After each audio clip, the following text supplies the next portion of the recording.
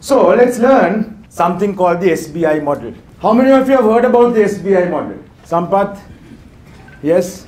So a lot of organizations are now actually brought the SBI model into uh, the organization itself. So where it's like supposed to be common practice or whatever, but yeah, easier said than done. So SBI model basically eliminates uh, IRE, yeah, eliminates emotions, eliminates hard feedback, el eliminates people becoming defensive, increases creativity, increases inward thinking, all good things, right? SBI model, all good things, right?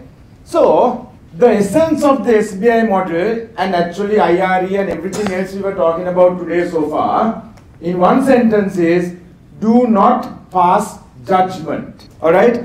Do not pass judgment, which is to say you are you are you are getting this result because you are like this. Are you understanding? You are, you are not achieving your sales targets because you are indisciplined and lazy and you don't care and you have a bad attitude. That is judgment. Are you understanding? Yes? What I can say is you are not achieving the sales target. That is clear, right? Let's explore what's happening here. There is no judgment there. I'm not saying why are you not. You can say what you observe. I see, I have observed that you don't spend a lot of time on the field. That's an observation. Understand difference? That is an that is an observation. Alright? But I can't say you're not spending time on the field because you're like this. That's a judgment. Are you clear between observation and judgment? By the way, we do this a lot at home also, no? have, you, have you realized? We do this a lot with our, with our children, with our spouses. Yeah? You will jump into judgment. Yeah? Which is something again I'm trying to uh, be better at. Because we are, we are very quick to judge, no? I know I am sometimes. Very quick to judge. Yeah?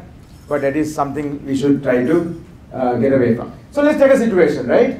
Let's say Rohan has come. We generally have a morning meeting at, on Monday at 9 o'clock right? Rohan has walked into the meeting at 9.30. I am trying to address this with Rohan. Alright? So I say, Rohan, describe the situation. Okay, Rohan, you walked into, today, you know the meeting was there at 9 o'clock, right? This morning, not one day, not someday you came late. You came late today at the meeting, for the meeting. Behavior, you walked in at 9.30 when we started at 9. And after you walked in, I saw you talking to Nisala. I was trying to present our targets. You spoke to Darian. I noticed that both of them seemed to get disturbed, right? Describe the behavior. Describe like playing back a video. Imagine if somebody videoed that whole incident. You're just dis describing what you saw, what you heard, what you felt, not what the other people felt. Definitely not what the person you're giving feedback to felt or thought because we don't know. Right? So you see, you walked in late at 9.30. I saw you speaking to Nisala and Darian. They seemed to get up, uh, upset as well. So you interrupted the meeting. Not you were rude. you interrupted the meeting. How did I feel? I got very upset. I lost my train of thought. I couldn't think of where I, where I was. I had to repeat myself. I lost my flow. I got angry. This really upset me. Rohan, yeah, you can say what you right? Now, Rohan, could you tell me what happened? What made you come 30 minutes late? What happened here? Are you understanding? What happened?